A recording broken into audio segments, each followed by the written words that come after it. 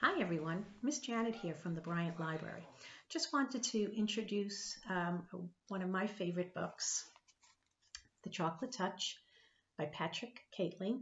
I've done this in a book discussion with third and fourth graders, and it's a funny and enjoyable story that I think your child will really love. So this is the story of John Midas, who would like to eat nothing but chocolate if he were given the chance, and not even share it with anyone. So one day, John is walking down the street and he finds this strange coin on the sidewalk.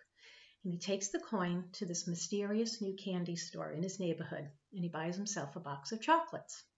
Well, after taking a piece of chocolate, John soon discovers that anything his lips touch turns to chocolate. So I'm just going to read a little bit of the book and I hope that gets you excited about reading it. John Midas loves chocolate he loves it so much that he'll eat it any hour of the day. He doesn't care if it ruins his appetite. He thinks chocolate is better than any other food. But one day, after wandering into a candy store and buying a piece of their best chocolate, John finds out that there might just be such a thing as too much chocolate. So, this Be Careful What You Wish For story is a lot of fun.